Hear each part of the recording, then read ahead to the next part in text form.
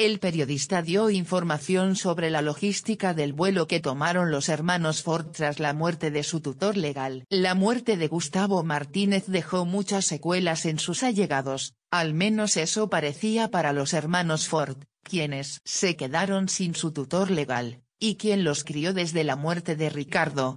Apenas se conoció la noticia del deceso del personal trainer, la farándula argentina explotó con noticias sobre esto pero lo que más llamó la atención fue las actitudes de Felipe y Martita, quienes se mostraron enojados porque él se suicidó cuando ellos aún estaban en el departamento.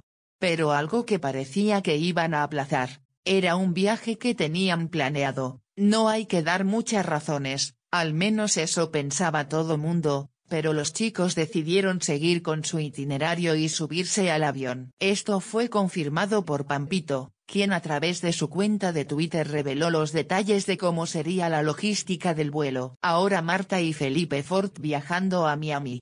Los acompaña Marisa López su niñera. Ellos viajan en business y la niñera en economy, posteó en redes sociales el periodista.